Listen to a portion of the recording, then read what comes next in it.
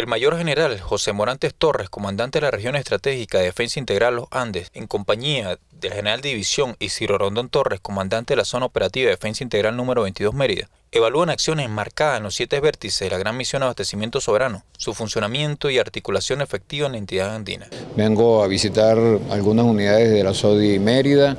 con la finalidad de bueno, evaluar un poco el bienestar de personal, el despliegue operacional,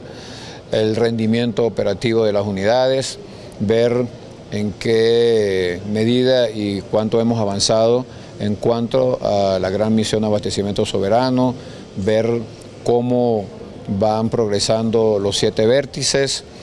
eh, evaluar un poco también los porcentajes de abastecimiento aquí en la SODI Mérida, cómo están articuladas las diferentes instituciones, en qué medida podemos apoyar y potenciar para mejorar el rendimiento operativo, para